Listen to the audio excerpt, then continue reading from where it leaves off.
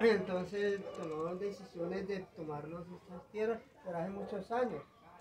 Y, y nos ayudaron pues también gente de, de la izquierda, gente que ha sido de lucha también, así como hicieron en Bogotá, que estuve viendo un video que en Bogotá también Petro ayudó una parte. eh, Sí, Paquirá.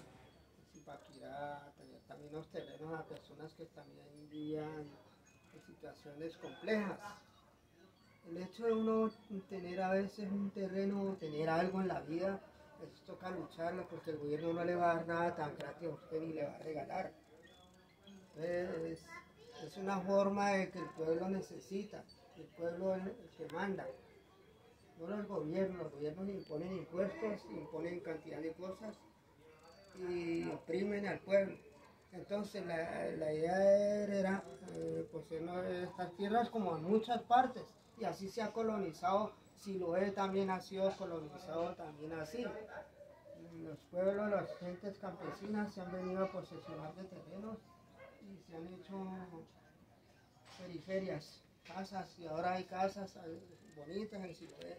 Siloé es muy lindo, hermoso, es de gente trabajadora, no como lo, a veces lo pintan, que son guerrilleros, que son gente mala, que son gente bandolera, que hay matones, que hay asesinos. Yo no miro a mi pueblo ni a mi barrio, ni mi comuna 20 la veo así. Yo considero que mi, y donde uno vive, uno nunca debe hablar mal de donde uno vive porque uno nació allí. Si uno no le ha pasado cosas ni le han pasado, ¿por qué hay hablar? Hay gente que se va al extranjero a hablar, ay, yo no vivo allá, allá me pasó esto, allá me pasó lo otro, allá fue eso.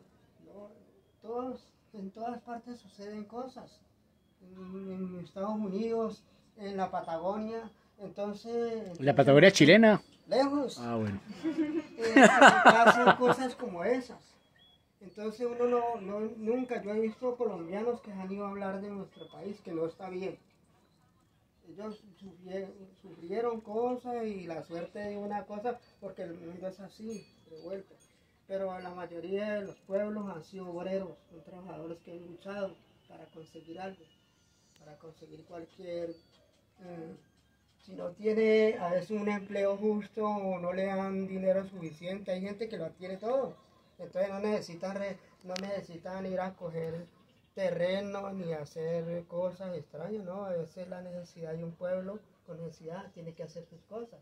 Conseguirse un terreno por necesidad, no tiene cómo pagarlo, no hay forma. Ahora, ahora un- al menos un poco de, ahí ha habido como formas de- hay formas de pagarte lotes y, y apartamentos. Y ahora, y ahora con, y ahora con la llegada de Petro, ¿el poder qué? Hay que esperar, eh, esperar a ver lo del Petro, esperar a ver qué pasa. Pero, pero tenés esperanza. ¿Ah? Tenés esperanza. Eh, sí, pues qué más puedo esperar. Que los gobiernos que pasaron son gobiernos tremendos. Porque yo vi morir mucha gente. Morir gente muerta y masacres que han habido por el estado que pasó. Los gobiernos que han pasado de muchos años.